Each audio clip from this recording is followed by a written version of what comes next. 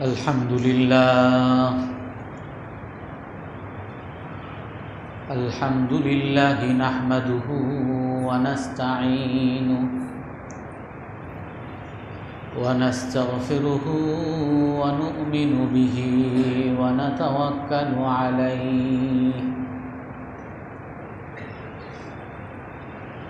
ونعوذ بالله من شرور أنفسنا ومن سيئات أعمالنا.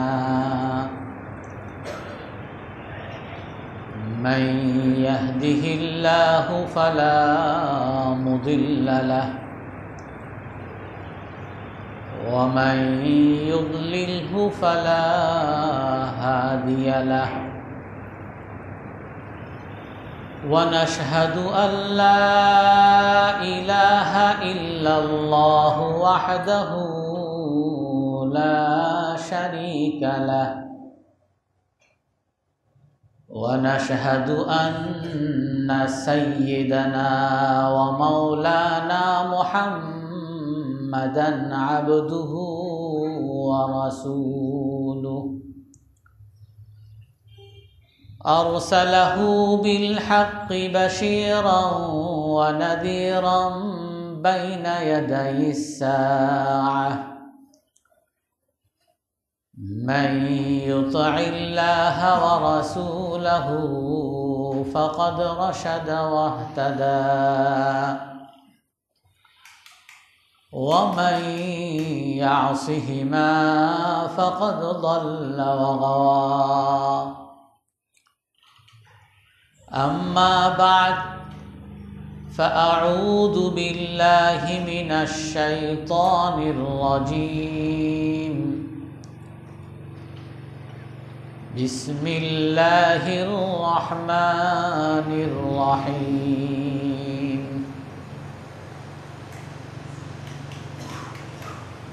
قالوا يا موسى إن فيها قوما جبارين وإنا لن ندخلها حتى يخرجوا منها. فإن يخرجوا منها فإنا داخلون. قال رجلان من الذين يخافون أنعم الله عليهم ادخلوا عليهم الباب.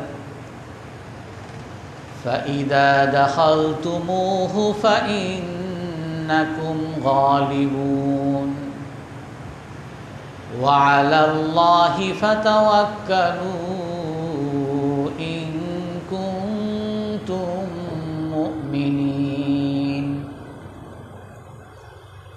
قالوا يا موسى إنا لن ندخلها أبدا ما داموا فيها. فاذهب أنت وربك فقاتلا إنا هاهنا قاعدون. قال رب إني لا أملك إلا نفسي وأخي فافرق. فافرق بيننا وبين القوم الفاسقين. صدق الله العظيم. وقال النبي صلى الله عليه وسلم ليأتين على الناس زمان يكون فيهم أمراء سفهاء. يقدمون شرار الناس فيظهرون بخيارهم ويؤخرون الصلاة عن مواقيتها. فمن أدرك ذلك منكم فلا يكونن لهم عريفا. ولا شرطيا ولا جابيا ولا خازنا أو كما قال عليه الصلاة والسلام সম্মানিত মুসল্লিয়ানে কেরাম আমরা আশুরার শিক্ষা নিয়ে আলোচনায় ছিলাম আশুরার মূল ঘটনা হজরত মুসা আলাইসাল্লাম এবং ফেরাউন। মুসা আলাইসাল্লামকে আল্লাহ তালা এই আশুরার দিনে মুক্তিদান করেছেন এবং এই আশুরার দিনে ফেরাউনকে আল্লাহ তালা সাগরে ডুবিয়ে হত্যা করেছেন। আর এর সুক্রিয়া স্বরূপ মুসা আলাইসাল্লাম এই আশুরার দিনে রোজা রাখেন। আর সেই জন্য রসুল্লাহ সাল আলহি আসাল্লামও আমাদেরকে এই দিনে রোজা রাখার আদেশ করেছেন। এবং আশুরার মূল্য বা আশুরার মর্যাদা মূলত এই জন্য। কিন্তু এই আশুরার দিনে আরও একটা ঘটনা ঘটেছে। হজরত হোসাইন রদি আল্লাহ আনহু এই আশুরার দিনে শাহাদত বরণ করেন। কিন্তু হজরত হোসাইন রদি আল্লাহ তালাহুর ঘটনা আমরা বিস্তারিত বলেছি এবং এর পর্যালোচনামূলক আলোচনাও করেছি। এগুলো সব আমার চ্যানেলে, ইউটিউব চ্যানেলের মধ্যে আছে। তো হজরত হোসাইন রদি আল্লাহ তালাহু কুফাবাসীরা যখন মোয়াবিয়া রদি আল্লাহ তালাহু আমিরুল মোমিনিন ছিলেন মহাবিয়া রাজি আল্লাহ তালাহুর পরে তার ছেলে ইয়াজিদকে পরবর্তী খলিফা নির্ধারণ করে যান। তারপর থেকেই মুসলমানদের মধ্যে এক অসন্তোষ বিরাজ করছিল। এবং এরপরে ওই ইয়াজিদকে অনেক মুসলমানরাই মনে প্রাণে মানতে পারেন নাই। তো সেই জন্য এবং তার বিরুদ্ধেও যে কেউ বিদ্রোহ করবে বা কোনো কথা বলবে সেরকমও কোনো পরিবেশ ছিল না। তো ইরাকের লোকরা, কুফাবাসীরা, তারা হোসাইন রাজি আল্লাহ তালাহুর কাছে চিঠি পাঠান, যেই চিঠির সংখ্যা বলা হয় প্রায় বিশ হাজার চিঠি। বিশ হাজার লোকজনের কাছ থেকে বিশ হাজার চিঠি পাঠানো হয় যে আমরা একটা সুষ্ঠু শাসন চাই এই জন্য আপনি আমাদের এই ইরাকে আসেন, আমরা আপনার সহযোগিতা করব এবং আপনার মাধ্যমেই আমরা একটা সুষ্ঠু শাসন প্রতিষ্ঠা করব। তো হোসেন রাদি আল্লাহ তালাহু প্রথমে আসতে চান নাই, কিন্তু পরবর্তীতে যেহেতু এত চিঠি, এত মানুষের সারা, এত মানুষের কাকুতি, তো যার কারণে হোসেন রাজি আল্লাহ তালাহু একসময় সেই ইরাকে আসার বা কুফায় আসার নিয়ত করেন। আর যখন নিয়ত করেন তখন ওনার ভাই মুসলিম ইবনে আকিল রাজি আল্লাহ তালাহুকে সেই ইরাকে পাঠান যে আসলে তারা যে বিশ হাজার চিঠি আমার কাছে আসছে, তারা পুরো ইরাকবাসী, আমার সহযোগিতায় দাঁড়াবে। এর আসল অবস্থা কি? আপনি এটা জেনে আমাকে জানাবেন। তো মুসলিম ইবনে আকিল রদি আল্লাহ তালাহুকে সেখানে পাঠান। মুসলিম ইবনে আকিল রদি আল্লাহ তালাহু যখন যায় তখন সেই ইরাকের গভর্নর ছিল ওবায়দুল্লাহ বিন জিয়াদ। ওবায়দুল্লাহ বিন জিয়াদ মুসলিম ইবনে আকিলের খবর শুনে এবং মুসলিম ইবনে আকিল এবং হোসেন রাজিয়াল্লাহ তালাহুর পক্ষ অবলম্বন করতেছে কিছু মানুষ বা তাদের ভাষায় তাদের খলিফা ইয়াজিদের বিরুদ্ধে বিদ্রোহ এক মাথাচারা দিয়ে উঠতেছে। এই জন্য এইটা দমন করার জন্য সেই ওবায়দুল্লাহ বিন জিয়াদ কঠোর পদক্ষেপ নেন। আর কঠোর পদক্ষেপের মধ্যে সেই মুসলিম ইবনে আকিল রাদিয়াল্লাহ তালাহুকে হত্যা পর্যন্ত করেন এবং হত্যা করে তার মাথা বাজারের মধ্যে ঝুলিয়ে রাখেন। এদিকে মুসলিম ইবনে আকিল প্রথমে যখন আসে, দেখে যে আসলেই অনেক মানুষের সারা আছে ওই সময় হুসেন রাজিয়াল্লাহ তালাহনুর কাছে চিঠি পাঠিয়ে দেন, যেখানে আসলেই মানুষজন সবাই আপনার অপেক্ষায় আছে, আপনি আসেন। কিন্তু তার পরবর্তীতে ওবায়দুল্লাহ বিন জিয়াদ ওই মুসলিম ইবনে আকিলকে তার উপরে যখন আক্রমণ করতে চান, যে যেই ইরাকবাসী যারা এতদিন হোসেন রাজিয়াল্লাহ তালাহুর কাছে চিঠি পাঠান, তার সাথে থাকবেন বলে ঘোষণা দিছেন, তারাই আবার সবাই পোলটি মারে। সবাই আবার ঘুরে যায়। সবাই হোসেন রাজিয়াল্লাহ তালাহুর বিরুদ্ধে চলে যায়। মুসলিম ইবনে আকিল রাজিয়াল্লাহ তালাহুকে পর্যন্ত ধরিয়ে দেয় এবং মুসলিম ইবনে আকিল রাজিয়াল্লাহ তালাহুকে হত্যা করে মাথা বাজারের মধ্যে ঝুলিয়ে রাখে। তো এদিকে হোসেন রাজিয়াল্লাহ তালাহু যখন সেই চিঠি পাইছেন যে ওখানে আসলেই সবাই আমার জন্য অপেক্ষা করতেছে, তখন রওনা করেন। রওনার সময় মদিনার মধ্যে যারা বড় বড় সাহাবি ছিলেন, আবদুল্লাহ ইবনে আব্বাস রাজিয়াল্লাহ তালাহু আবদুল্লাহ ইবনে অমর রাজিয়াল্লাহ তালাহু জুবাইর রাদিয়াল্লাহ আবদুল্লাহ ইবনে জুবাইর রাদিয়াল্লাহ তালাহু বড় বড় সাহাবি যারা ছিলেন, সকল সাহাবি হোসাইন রাদিয়াল্লাহ তালাহুকে বাধা দেন। যে আপনি ওই কুফা বা ইরাকবাসীর কথায় আপনি বিশ্বাস করবেন না। কারণ এই ইরাকবাসীরাই আপনার বাবা হজরত আলী রাজিয়াল্লাহ তালাহুকে হত্যার ব্যাপারে তারাই হস্তক্ষেপ করছে। এবং এই ইরাকবাসীরাই আপনার ভাই হজরত হাসান রাজিয়াল্লাহ তালাহুকে হত্যার ব্যাপারে তাদের হাত ছিল। তো এই ইরাকবাসীরা হলো বিশ্বাসঘাতক। আপনি তাদের কথায় সাড়া দিয়েন না, আপনি ইরাকে যেয়েন না। কিন্তু তারপরও হোসেন রাজিয়াল্লাহ তালাহু চিন্তা করছেন যে যেহেতু অনেক মানুষ আমাকে অনেক আবদার করতেছে এবং সেখানে একটা সুন্দর পরিবেশ আছে এবং সবাই আমার জন্য অপেক্ষা করতেছে, এমনকি আমি যাকে পাঠাইছি, মুসলিম ইবনে আকিল আমার ভাই, সেও, চাচাতো ভাই, সেও আমার অপেক্ষায় আছে, আমাকে যেতে বলছে। তো তারপরে হোসেন রাদিল্লাহ তালাহু চলে যান। কিন্তু সেই ইরাকে যখন পৌঁছেন, যখন ইরাকে পৌঁছে যান, তখন শুনতে পান যে ইরাকবাসীরা সবাই হোসেন রাদিয়াল্লাহ তালাহুর পাশ থেকে সরে গেছে। সবাই বিশ্বাসঘাতকতা করেছে। আর হোসেন রাদিয়াল্লাহ তালানহু যে চলে আসছেন, এটা ওবায়দুল্লাহ বিন জিয়াদ জানতে পারেন।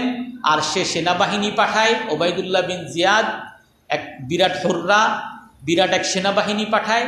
সে সেনাবাহিনী হোসেন রাদিল্লাহ তালাহুকে ঘিরে ফেলে। তখন হোসেন রাদিল্লাহ তালাহু যখন দেখেন যে মুসলিম ইবনে আকিল রাদিল্লাহ তালাহুকে হত্যা করে ফেলছে, সকল ইরাকবাসীরা বিশ্বাসঘাতকতা করেছে, তখন হোসেন রাদিল্লাহ তালাহু ফেরত আসার জন্য ইচ্ছা প্রকাশ করেছেন। ওই যারা সেনাবাহিনী ওবায়দুল্লাহ বিন জিয়াদের বা ইয়াজিদের পক্ষ থেকে যে সেনাবাহিনী ছিল, তাদেরকে উনি প্রস্তাব দেন যে, আমি এসে ভুল করেছি, আমি, তারা আমাকে আশ্বস্ত করেছিল, তাই আমি এসেছি। এখন এসে দেখি তারা সবাই বিশ্বাসঘাতকতা করতেছে, তো আমি যেখান থেকে আসছি, আমাকে সেখানেই চলে যে, চলে যেতে দাও। তো তখন ওবায়দুল্লাহ বিন জিয়াদ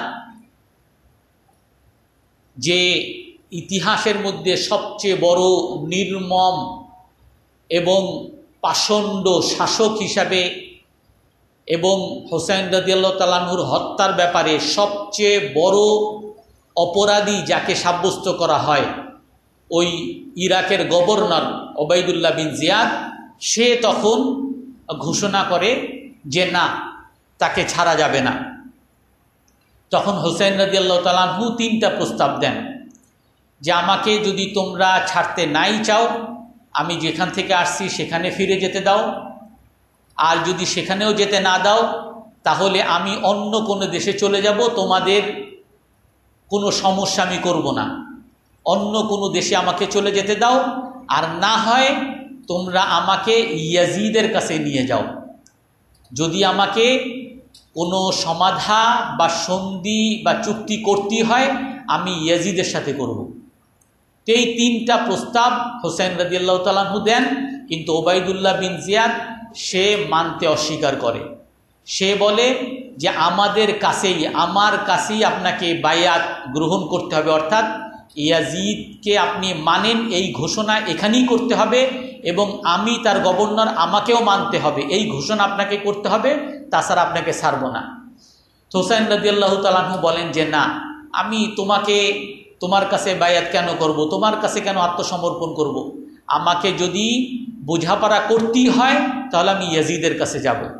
আর না হয় আমি যেখান থেকে আসছি, সেখানে যেতে দাও, আর না হয় আমাকে অন্য কোনো দেশে যেতে দাও কিন্তু তাকে যখন যেতে দিবেন না এবং তাকে যখন আটকানোর তারা পুরো প্রস্তুতি গ্রহণ করে, সেই সময় হোসেন রদিয়াল্লাহ তালানহু উনি এরকম কাপুরুষের মতো মৃত্যু চান নাই, শাহাদতের মৃত্যু চেয়েছেন। এই জন্য বলেছেন, তোমরা যদি আমাকে আক্রমণ করোই, তাহলে আমিও পাল্টা আক্রমণ করব এবং আমি শাহাদত বরণ করব, তারপর আমি তোমাদের কাছে মাথা নত করব না। আর যার ফলে তখন হোসেন রাজিয়াল্লাহ তালানহুর সাথে মাত্র অল্প কিছু সংখ্যক তার পরিবারের লোকজন ছিল। আর তার বিপরীতে প্রায় বারো হাজারের একটা বিরাট সেনাবাহিনী। সেই সেনাবাহিনীর সাথে হোসেন রাজিয়াল্লাহ তালানহুর পেরে ওঠার কোনো যুক্তি ছিল না। তারপরও হোসেন রাজিয়াল্লাহ তালাহু যুদ্ধ করতেছিলেন, যুদ্ধ করতে করতে হোসেন রাজিয়াল্লাহ তালাহুর সাথে যারা ছিলেন তারাও শাহাদত বরণ করছেন, এমনকি হোসেন রাজিয়াল্লাহ তালাহু নিজেও শাহাদত বরণ করেন। তো হোসেন রাজিয়াল্লাহ তালাহু শাহাদত বরণ করার পরে ওনার মাথা ওবায়দুল্লাহ বিন জিয়াদ নিয়ে ইয়াজিদের কাছে নিয়ে যায় যে আমি তাকে হত্যা করে আমি তার মাথা নিয়ে আসছি। তখন বিশ্বাসযোগ্য কিতাবগুলোর মধ্যে, বর্ণনার মধ্যে আসছে ইয়াজিদ তখন রাগ করছে যে আমি তো তোমাকে তাকে হত্যা করতে বলি নাই। কেন তুমি তাকে হত্যা করছ? আমার বিরুদ্ধে একটা বিদ্রোহ এবং এর পিছনে হোসেন রাদিল্লাহ তালাহু আছে, তাই বলে আমি তাকে তো হত্যা করতে বলি নাই। এই কথা বলে সে তাকে তিরস্কার করেছে, কিন্তু তারপরও ইয়াজিদকে অপরাধের কাঠগড়া থেকে ঐতিহাসিকরা মুক্তি দেন না, কারণ যেই অপরাধ ওবায়দুল্লাহ বিন জিয়াদ যে করেছে বা হুররা বিন ইয়াজিদ যারা করেছে এই অপরাধ, তাদেরকে ইয়াজিদ কোনো শাস্তি দেন নাই। বরং এরপরেও এই হোসেন রাজিয়াল্লাহ তালানুর হত্যার বিপরীতে মদিনার লোকজন যখন সবাই বিদ্রোহ করে, ওই সময় এই ইয়াজিদের পক্ষ থেকে সেনাবাহিনী ওই মদিনায় গিয়ে চরম আক্রমণ করে এবং অনেক সাহাবাদেরকে হত্যা করে, অনেক নারীদেরকেও নির্যাতন করে। এই দুইটা অপরাধের কারণে মূলত ইয়াজিদকে অপরাধের কাঠ গড়ায় তাকে দাঁড় করানো হয়। তো হুসাইন রদি আল্লাহ তালাহুর যে শাহাদত, এটা একটা করুণ কাহিনী, করুণ ঘটনা। সকল মুসলমান এই জন্য মর্মাহত, মুসলমান মাত্রই এই ব্যাপারে ব্যথিত হতে হবে, কারণ রসুল্লাহ সাল আলহি আসাল্লামের কলিজার টুকরা। রসুল সাল্লাহ আলাইসাল্লামের আপন নাতি হোসেন রাজিয়াল্লাহ তালাহু তার শাহাদতে যারাই রসুল সাল্লাহ আলাইসাল্লামকে ভালোবাসবে, তাদেরকেই মর্মহত হতে হবে, তাদেরকেই ব্যথিত হতে হবে। কিন্তু এই হোসেন রাজিয়াল্লাহ তালাহুর শাহাদতের দিনকে আশুরার দিন হিসাবে পালন করা বা আমাদের দেশে আশুরার দিন হিসাবে যেটাকে আমরা পালন করি, শোকের দিন হিসাবে পালন করা হয়। মানুষের তার নিজের শরীরকে ক্ষতবিক্ষত করা হয়, আহত করা হয়, বিভিন্ন রকমের পোশাক পরা হয়, জামা কাপড় ছিঁড়ে ফেলা হয়। এবং বিভিন্ন রকমের মাতম, শোকের শব্দ, হাই হোসেন হাই হোসেন, শোকের শব্দ বলা হয়। এগুলো কোনোটাই ইসলামের মধ্যে স্বীকৃত না। কারণ এই আশুরার দিনটা মূলত খুশির দিন। মুসা আলাইসাল্লামকে আল্লাহ তালা ফেরাউনের হাত থেকে আল্লাহ তালা মুক্তি দান করছেন। আর এই জন্য খুশি স্বরূপ সুক্রিয়া স্বরূপ, আনন্দ স্বরূপ মুসা আলাইসাল্লাম রোজা রেখেছেন। আর সেই মুসা আলাইসাল্লামের বিজয়ে মুসলমানরা রসুল্লাহ সাল্লামরাও সেই বিজয় উদযাপন করার জন্য সুক্রিয়া স্বরূপ রোজা রাখ, রোজা রাখার আদেশ করা হয়েছে। ততএব যেই আশুরার দিনকে আমাদের বিজয়ের দিন ঘোষণা করা হয়েছে, আনন্দের দিন ঘোষণা করা হয়েছে, সেটাকে শোকের দিন শোকের দিনে রূপান্তর করা এবং শোকের কাজ করা, এগুলো কোনোটাই ইসলাম সমর্থিত না। বরং হাদিসের মধ্যে খুব স্পষ্টই আছে, লাইসা মিন্না মাল্লাপামাল হুদুদা ওমান শাক্কাল জুয়ুবা। আমার উম্মতের অন্তর্ভুক্ত না আসে যে নাকি শোক প্রকাশ করে নিজের গালে থাপ্পড় দেয়, যে শোক প্রকাশ করে নিজের জামা কাপড় ছিঁড়ে ফেলে। সে আমার উন্মতের অন্তর্ভুক্ত না। আমি ব্যথিত হতে পারি, আমার ছেলে মারা গেছে, আমার ভাই মারা গেছে, আমার মা মারা গেছে, দুঃখ, বেদনা। কিন্তু এই শোক প্রকাশ কখনোই এইভাবে স্বীকৃত না, ইসলাম সমর্থন দেয় না যে আমি নিজেকে আহত করব। রসুল সাল্লাহ সাল্লাম স্পষ্ট বলছেন, ওই মা, ওই ব্যক্তি যার আপনজন মারা গেছে, আর সে শোক প্রকাশ করতে গিয়ে নিজের গালে থাপ্পড় দেয় নিজের জামা কাপড় ছিঁড়ে ফেলে, আর্তনাদ করে, চিৎকার, চেঁচামেচি করে, আল্লাহ রসুল বলেন, লাইসা মিন্না, সে আমার উন্মতের অন্তর্ভুক্ত না। এই জন্য ওই শোক প্রকাশ করতে গিয়ে, ওই শোকের শব্দ বলা, নিজেকে আহত করা, বিভিন্ন রকমের পোশাক পরা, এবং এই দিনকে শোকের দিন হিসাবে ঘোষণা করা বা এইভাবে উদযাপন করা, এটা কোনোভাবেই ইসলাম সমর্থিত না। এবং এর বিস্তারিত কব থেকে, কবে থেকে এটা শুরু হয়েছে, কখন থেকে শুরু হয়েছে এবং এটার যৌক্তিকতা আসলে আছে কিনা, এগুলো সব আমি বিস্তারিত আলোচনাও করেছি। আর আমার বই ইসলাম ও উৎসবের মধ্যেও এগুলো বিস্তারিত আছে। তো আমি হোসাইন রাজিয়াল্লাহু তালানাহুর যে শাহাদত এই আশুরার দিনে, তার ওখানে তিনটা শিক্ষা পাওয়া যায়। কিতাব বিভিন্ন কিতাবের মধ্যে তিনটা শিক্ষা লেখা হয়। একটা শিক্ষা হলো যে হোসাইন রাজিয়াল্লাহু তালানহু উনি ইসলামের উপরে অটল ছিলেন। হোসাইন রাজিয়াল্লাহু তালানহু যখন উনি ওই ইরাকে যান, আর ইরাকে যখন তাকে বাধা দেয় যে আপনি এখানে এখানে বিদ্রোহ করতে আসছেন, একটা বৈধ খলিফা আছে ইয়াজিদ তার বিরুদ্ধে আপনি বিদ্রোহ করার জন্য আসছেন, আর বিদ্রোহ তো জায়েজ নাই। তখন হোসাইন রাদি আল্লাহ তালু স্পষ্ট ঘোষণা করছেন, ইন্নি লাম আহরুজ আশিরান ওয়ালা বাতিরান ও ইন্নি খারাজতু লি তলাবিল ইসলাহি ফি উম্মতি জাদ্দি। আমি এই ইরাকে আমি অহংকার বশত আসি নাই। আমি কাউ কাউকে দমন করার জন্য আসি নাই। আমি ক্ষমতার লোভে আসি নাই। হজরত হোসাইন রাজিয়াল্লাহ তালাহু নিজে বলছেন, আমি ক্ষমতার লোভে ইরাকে আসি নাই, বরং আমি কেন আসছি? আমি আসছি আমার দাদার উম্মতের মধ্যে সংস্কার স্থাপন করার জন্য।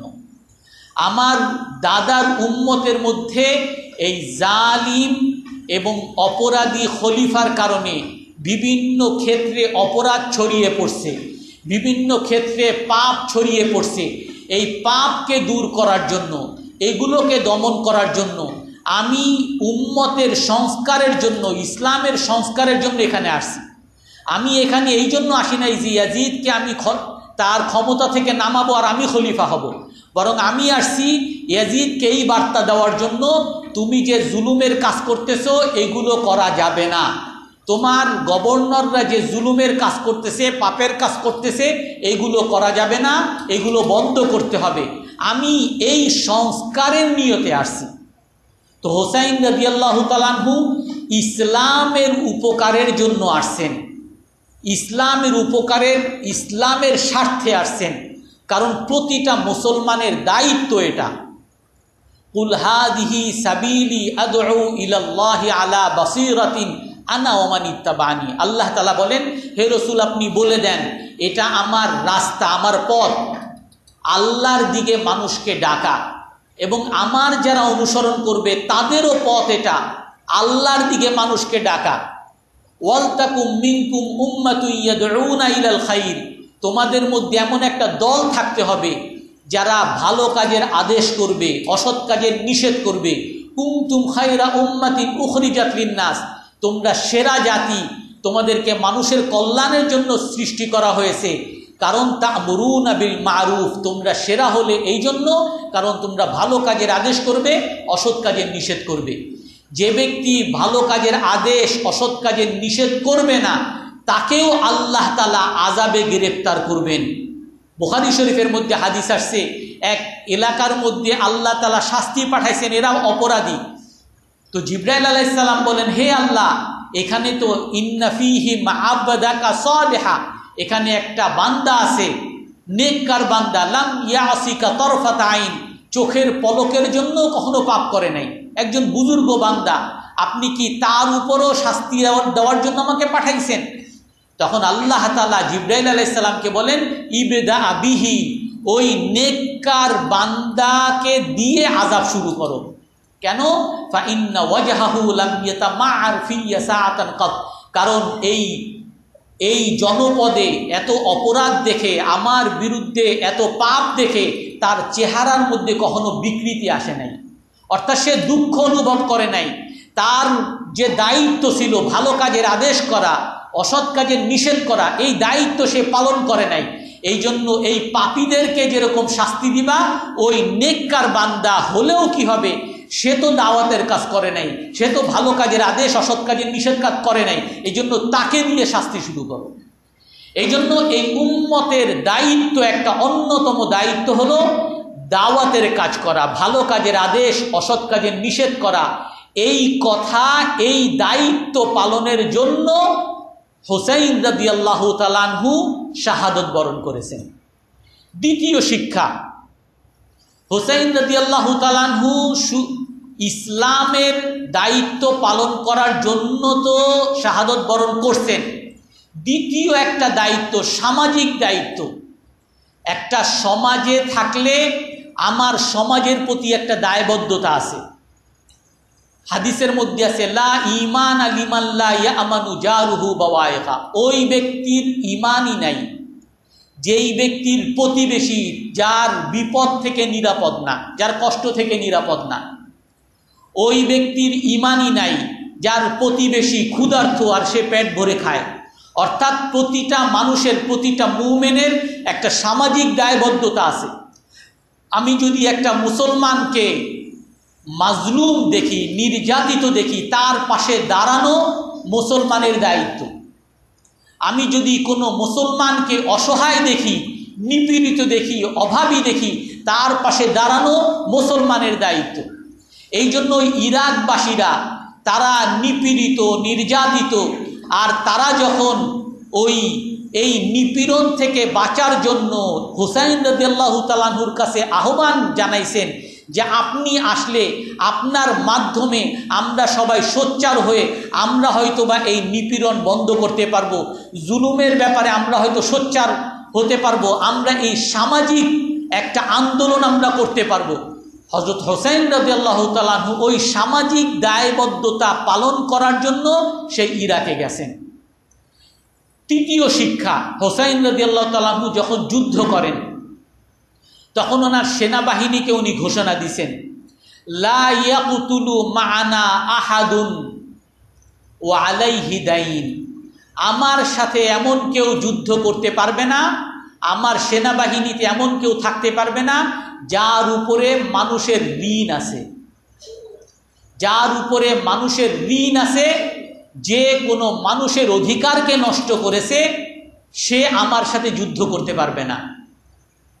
হজরত হোসেন রবিআল্লাহ তালাহুর এই কথা, এই ঘোষণার দ্বারা আমাদের সামনে এই শিক্ষা আমাদের সামনে উপস্থাপন করেছে যে মানুষ যত বড়ই হোক না কেন, সে যত বড় দিনদারি হোক না কেন, সে যত বড় আল্লাহওয়ালার বুজুর্গই হোক না কেন, যত বড় ভদ্র সভ্যই হোক না কেন, কিন্তু তার হাত যদি কোনো মানুষের অধিকার ভুলুন্টনে যদি কলুষিত থাকে সে যদি কোনো মানুষের অধিকার ভুলুণ্ঠিত করে থাকে, কোনো মানুষের পাওনা না দিয়ে থাকে, কোনো মানুষের অধিকার নষ্ট করে থাকে, কোনো মানুষকে কষ্ট দিয়ে থাকে, কোনো মানুষের উপরে জুলুম করে থাকে, কোনো মানুষের ঋণ, পাওনা তারপরও সে দেয় নাই, এরকম যদি থাকে, সে কখনো ভালো মানুষ হতে পারবে না। সে কখনো পাক্কা মুসলমান হতে পারবে না। তো হুসাইন রবি আল্লাহ তালানহুর ঘটনা থেকে এই তিনটা শিক্ষা আমাদের জন্য ওলামা একরাম লিখেছেন, এক নম্বর শিক্ষা হলো যে ইসলামের মৌলিক একটা দায়িত্ব ভালো কাজের আদেশ আর অসৎ কাজের নিষেধ, এই শিক্ষা হুসাইন রাজিয়াল্লাহ তালাহু আমাদেরকে দিয়ে গেছেন। এই ভালো কাজের আদেশ আর অসৎ কাজের নিষেধ করতে গিয়ে উনি জীবন দিয়ে গেছেন। আর দ্বিতীয় শিক্ষা, সামাজিক কাজকর্ম, সামাজিক দায়বদ্ধতা। এই সামাজিক দায়বদ্ধতা পালন করা প্রতিটা মুসলমানের দায়িত্ব। আমি যদি দেখি কোনো বাবা তার মেয়েকে বাঁচাতে গিয়ে আর্তনাদ করতেছে, কোনো সন্ত্রাসী তার মেয়েকে ধর্ষণের চেষ্টা করতেছে, আর মা আর সেই বাবা বা মা তার মেয়েকে বাঁচানোর জন্য সাহায্য চাইতেছে। আর ওই সময় আমি যদি হার গুটিয়ে বসে থাকি, আমি কখনো মুসলমানের অন্তর্ভুক্ত থাকব না। আই হোসাইন রদিয়াল্লাহ তালাহু আমাদেরকে এই শিক্ষা দিয়ে গেছেন, প্রতিটা মুসলমানের দায়িত্ব সামাজিক দায়িত্ব, প্রতিটা মুসলমানের দায়িত্ব। আর তিন নাম্বার শিক্ষা আমাদেরকে দিয়ে গেছেন যে আমরা যত বড় নামাজি হই না কেন, যত বড় দিনদারি হই না কেন, কখনোই আমরা পরিপূর্ণ মৌমন হতে পারব না যদি না আমি মানুষের অধিকারের ব্যাপারে সচেতন না থাকি, মানুষের ঋণের ব্যাপারে সচেতন না থাকি, মানুষের পাওনা দাওনার ব্যাপারে সচেতন না থাকি, আমরা যদি বলতে হয় তাহলে আমরা বলতে পারি, আমরা নিজেরাও জানি আজ অনেক বড় বড় ব্যক্তি, খারাপ ব্যক্তিদের কথা বাদি দিলাম। অনেক ভালো ভালো মানুষ, অনেক সভ্য মানুষ, অনেক দিনদার মানুষ, অনেক বুজুর্গ মানুষ, আল্লাহওয়ালা মানুষ। এমন দেখা যায় যে তারা লেনদেনে গেলে তারা ওই ইসলামী নীতিমাল নীতিমালা মেনে চলে না। বলে ব্যবসার খাতিরে একটু মিথ্যা বলতেই হয়। চাকরির খাতিরে একটু ঘুষ দিতেই হয়। ব্যবসার খাতিরে একটু সুদ দিতেই হয়। একটু ব্যবসার খাতিরে একটু ধোকাবাজি করতেই হয়। রাজনীতির খাতিরে একটু মিথ্যা, একটু অপরাধ করতেই হয়। সমাজে চলতে হলে একটু মানুষের সাথে দুর্ব্যবহার করতেই হয়। আজ এই মানুষের অধিকারের ব্যাপারে সচেতন না থাকা লেনদেনের ব্যাপারে সচেতন না থাকা, এটা একটা মহামারী আকারে আমাদের মধ্যে ঢুকে গেছে। হজরত যেই মূল ঘটনা হজরত মুসা আলাইসালাম আর ফেরাউনের ঘটনার মূল শিক্ষা, আমরা গত সপ্তাহে দুইটা শিক্ষার কথা বলেছি। একটা হলো সকল সফলতা তাওহিদের মধ্যে। মুসা আলাইসাল্লাম তাওহিদবাদী ছিলেন এক আল্লাহকেই মানছেন, যার কারণে মুসা আলাইসাল্লামকে আল্লাহ তালা সফলতা দিছেন আর সকল ধ্বংস শিরিকের মধ্যে। ফেরাউন অনেক বড় ক্ষমতাশালী ছিল, অনেক বড় পাওয়ারফুল লোক ছিল, কিন্তু সে শিরিকের মধ্যে লিপ্ত ছিল। আল্লাহ বিরোধী শক্তির মধ্যে তার আস্থা ছিল। তো যার ফলে আল্লাহ তালা ফেরাউনের এত বড় সেনাবাহিনী থাকা সত্ত্বেও ফেরাউন এত বড় পাওয়ারফুল থাকা সত্ত্বেও, ফেরাউনের এত ক্ষমতা থাকা সত্ত্বেও আল্লাহ তালা তাকে ধ্বংস করে দিছেন ফেরাউনের ঘটনা থেকে, মুসা আল্লাহিসাল্লামের ঘটনা থেকে আমাদের জন্য আর একটা বড় শিক্ষা। বেশ দশটা শিক্ষার মতো আল জাজিরার বইয়ের মধ্যে আনা হয়েছে অন্য আর একটা বইয়ের মধ্যে আরও দশটা শিক্ষার মতো আনা হয়েছে তো তার মধ্যে প্রথম শিক্ষা, পৃথিবীর মধ্যে যত সময়, যত শক্তিধর যত স্বৈরাচার আসে, তাদের প্রকৃতি কেমন হয়? এই মুসা আলাইসাল্লাম আর ফেরাউনের ঘটনা দ্বারা আমাদের সামনে স্থাপিত হয়। ওই পাওয়ারফুল শক্তিধর লোকদের সহযোগীরা কেমন হয়? তাদের প্রকৃতি কেমন হয়? এগুলো এই এর দ্বারা আমাদের শিক্ষা লাভ হয়।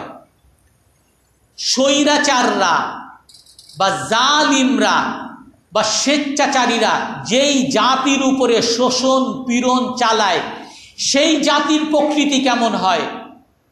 এই এই ঘটনা থেকে এই শিক্ষাও ওই বইয়ের মধ্যে আনা হয়েছে এবং ওই সাধারণ মুসলমান, আমরা সাধারণ মুসলমান, আমাদের কি করণীয়? আমাদের করণীয় এই ঘটনা থেকে আমরা পাই। সেটা কি? রসুল্লাহ সাল্লাহ আলাইসাল্লাম যখন নাকি ইয়াহুদিদেরকে দেখছেন যে তারা এই আশুরার দিনকে উদযাপন করতেছে তো তাদেরকে বলছে, মা হাদ আলিয়ামুল্লাদি তাসুমুনা এটা কি দিন? কেন তোমরা এই দিনে রোজা রাখতেছ? তো ইয়াহুদিরা বলে, হাদা ইয়াউমুন আজিম এটা একটা মহান দিন। কারণ কি? আল্লাহ তালা এই দিনে মুসা আলাইসাল্লামকে মুক্তিদান করছেন আর ফেরাউনকে আল্লাহ তালা এই দিনে সাগরে ডুবিয়ে হত্যা করেছেন।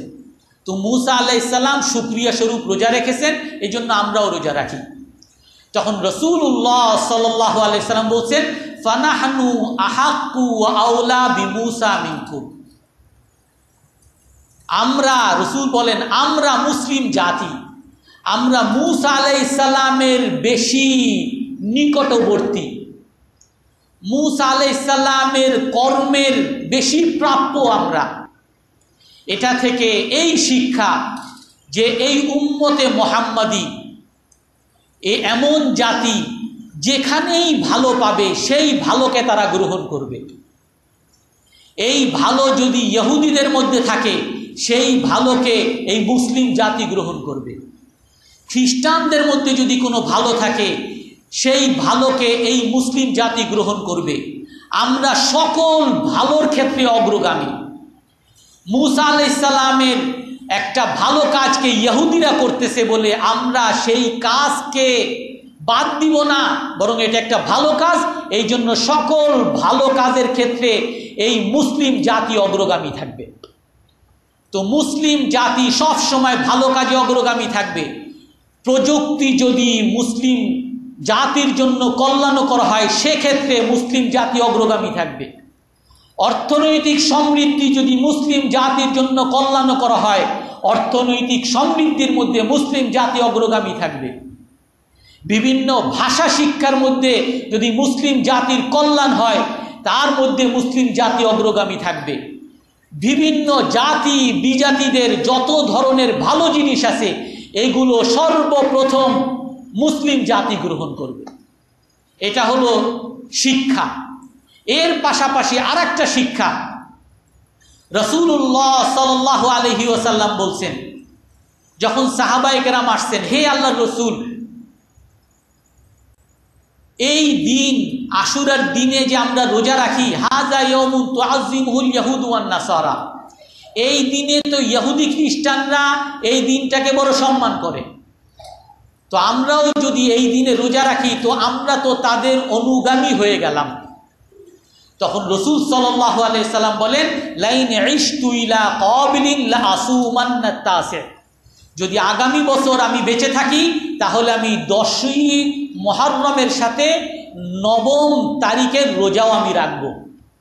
এর দ্বারা আমাদেরকে এই শিক্ষা দিয়ে দেন যে আমরা যত বিজাতিদের ভালো জিনিস আছে, এগুলো আমরা শিক্ষা গ্রহণ করব।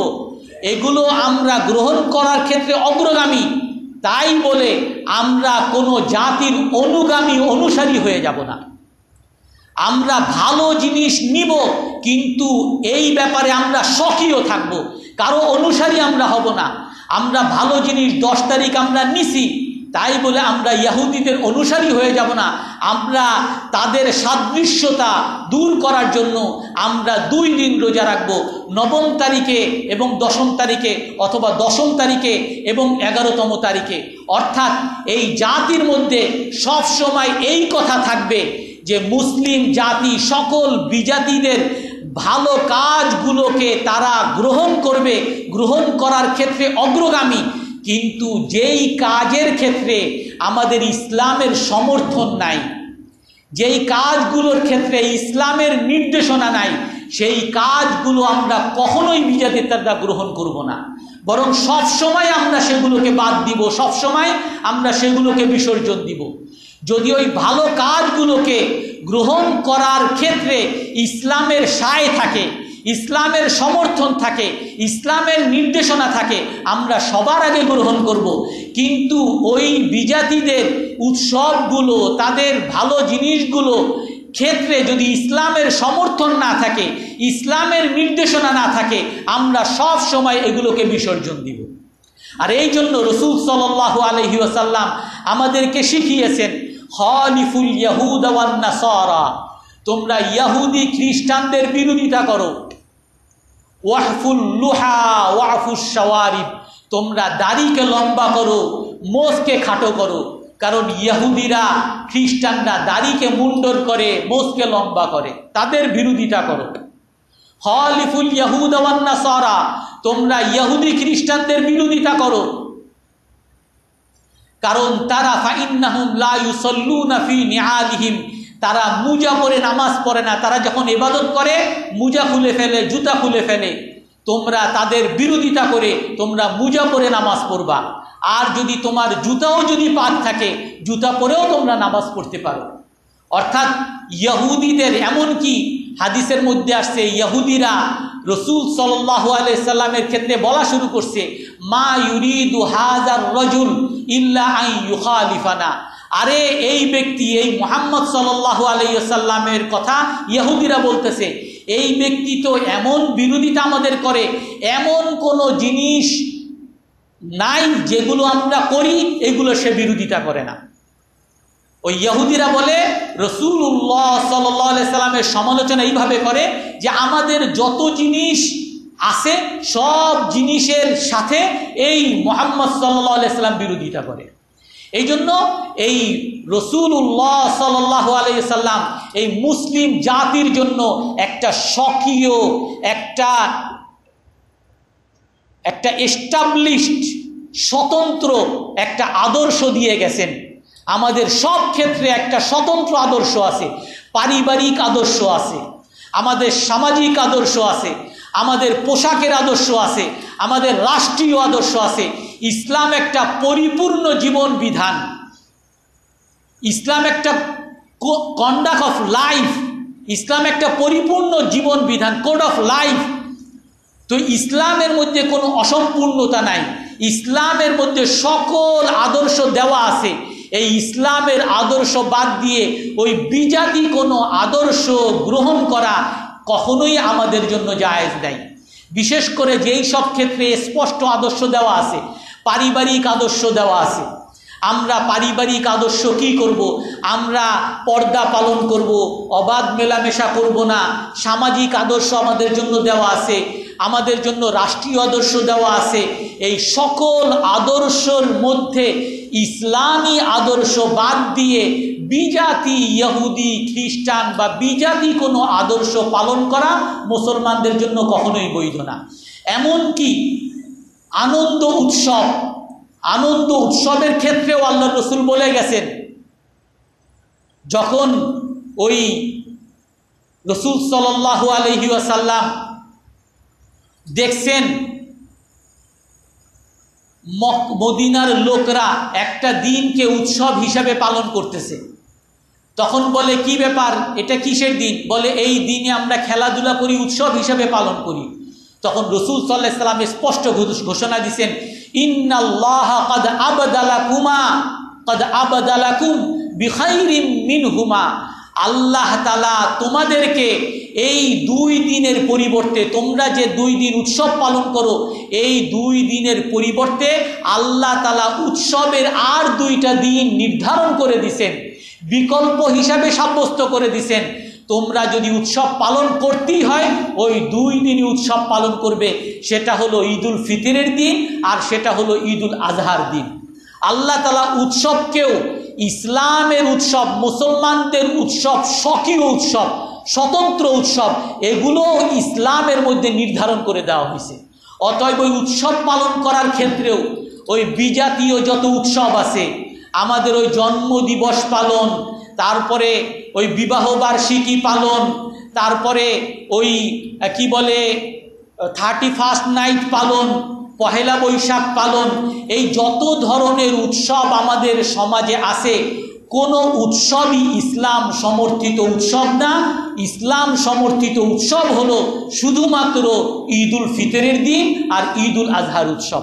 এই জন্য সব কিছুর ক্ষেত্রে ইসলামের স্বকীয়তা, এটা হলো আমাদের শিক্ষা। আল্লাহ তালা আমাদেরকে এই আশুরার ঘটনা থেকে এই যে একটা অন্যতম শিক্ষা দিছেন। আমরা যত ভালো জিনিস আছে, এগুলো আমরা গ্রহণ করব।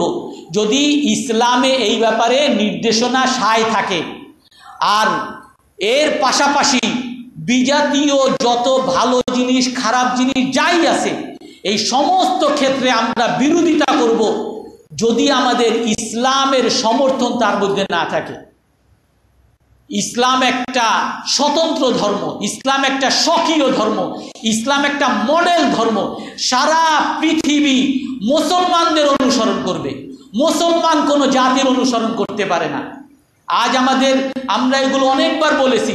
তারপরও বলতে হয়, এই ইউরোপ, আমেরিকা যাদেরকে আমরা সভ্য আদর্শ হিসাবে এখন মনে করতেছি, এই ইউরোপ, আমেরিকা, তারা বাথরুম করে পানি নেওয়া জানতো না, তারা গোসল করা জানতো না, তারা এই বাথরুম থেকে গোসল, ফরজ হলে গোসল করা, এগুলো জানতো না, তারা দাঁত মাজা জানতো না, তারা পরিষ্কার পরিচ্ছন্নতা বলতে কিছু জানতো না, তাদের পোশাকের সৌন্দর্য বলতে তারা কিছুই জানতো না।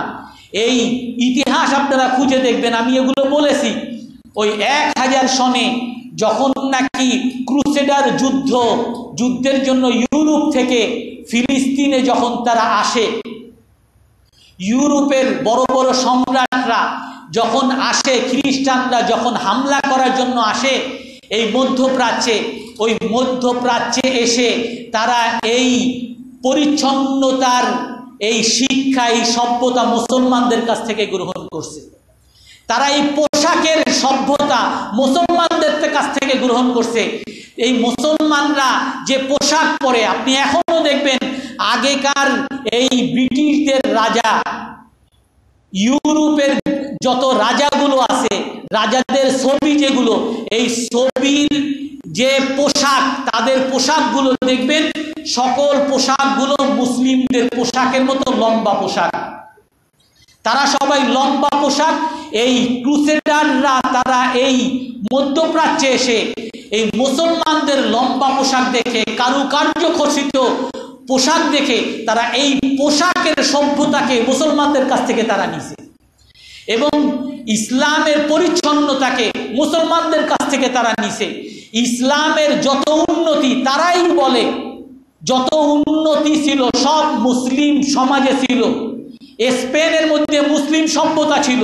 এই স্পেনের মুসলিম সভ্যতা, এই স্যানিটাইজেশন সভ্যতা বলেন, আর এই পুরো পয় নিষ্কাশনের সভ্যতা বলেন, এই সব কিছু মুসলমানদের কাছ থেকে তারা নিছে। ইতিহাস আপনারা খুঁজে দেখেন। এই জন্য মুসলমান হলো, তারা হলো আদর্শ মডেল ধর্ম। মুসলমান কারও অনুসরণ করবে না। বরং মুসলমানকে সবাই অনুসরণ করবে। মুসলমান এমন জাতি যারা সফলতার জন্য কারও অনুসরণ করবে না, বরং বিভিন্ন জাতি তারা যদি সফলতা পেতে চায়, তাহলে মুসলমানদেরকে তাদের অনুসরণ করতে হবে। আজও এটা একেবারে চরম বাস্তবতায় স্বীকৃত কথা। আজ আপনারা পরিসংখ্যান দেখেন, আজ ইউরোপ, আমেরিকার মধ্যে সবচেয়ে বেশি ধর্মান্তর যে হচ্ছে ইস তাদের যে ধর্মান্তর কনভার্সন যে হচ্ছে, এক ধর্ম ছেড়ে আর ধর্মে আসতেছে, সবচেয়ে পরিসংখ্যানে বেশি হলো ইহুদি, খ্রিস্টান, বিভিন্ন ধর্ম থেকে মুসলমান ধর্মে তারা দলে দলে আজকে দীক্ষিত হচ্ছে। এবং এদের মধ্যে সবচেয়ে বেশি পার্সেন্টেজ হলো নারীদের পার্সেন্টেজ নারীরা আজকে দলে দলে মুসলমান হইতেছে। কারণ এই নারীরা আজ বাস্তবতার ওই শোষণে নিষ্পেষিত হয়ে দেখতেছে, তাদের মর্যাদা, তাদের সম্মান ওই ল্যাংটা হওয়ার মধ্যে নাই, উলঙ্গ হওয়ার মধ্যে নাই, ফ্যাশন করার মধ্যে নাই, দশজন নায়ক ধরার মধ্যে নাই, দশজন প্রেমিক ধরার মধ্যে নাই অবাক মেলামেশার মধ্যে নাই, বরং তাদের সম্মান, তাদের মর্যাদা একমাত্র ইসলামী আদর্শের মধ্যে, একজন মা হওয়ার মধ্যে, একজন স্ত্রী হওয়ার মধ্যে, এর মধ্যেই একজন নারীর সম্মান, এর মধ্যে একজন নারীর ইজ্জত। এটা যুগে যুগে, বর্তমান যুগে, এখন ওই ইহুদি, খ্রিস্টান নারীরা দেখে দলে দলে মুসলমান হইতেছে। পরিসংখ্যান নিয়ে দেখেন। এজন্য মুসলিম জাতি, তারা হলো আদর্শ জাতি। তারা কারও অনুসরণ করবে না, তারা অনুসারী জাতি না, তারা হলো অনুসরণীয় জাতি।